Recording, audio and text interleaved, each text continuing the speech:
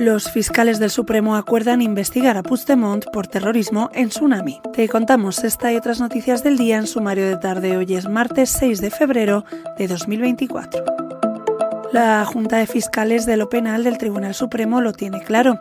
Hay que investigar a Carles Puigdemont por un delito de terrorismo. En una reunión tensa, la mayoría de los 15 representantes del Ministerio Público han abogado este martes por elevar el caso Tsunami Democrática al alto tribunal, como sostiene el juez instructor. Manuel García Castellón propone imputar a una docena de personas, entre ellas el expresidente catalán y el diputado de Esquerra en el Parlamento, Rubén Wassenberg, ambos aforados. La decisión llega horas después de que el fiscal general del Estado, Álvaro García Ortiz, desmintiera haber dado instrucciones a Álvaro Redondo, el fiscal encargado en el Supremo.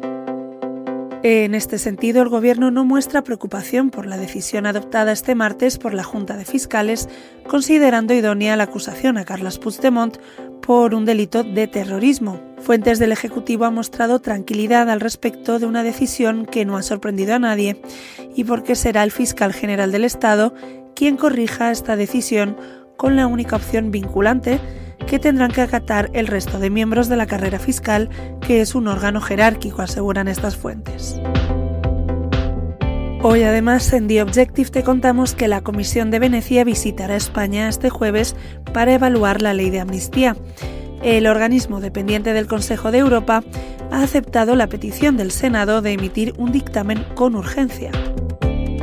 Para terminar, los productores agrícolas y ganaderos españoles mantienen este martes sus protestas por la crisis del campo y las políticas agrarias de la Unión Europea, incluidas tractoradas, tras las movilizaciones impulsadas por el sector agrario en Francia, Bélgica y Portugal. Las protestas que están cortando carreteras y accesos a las ciudades se realizan en algunas ocasiones al margen de las organizaciones mayoritarias, con el apoyo de otros sectores afines como los autónomos y pymes del transporte.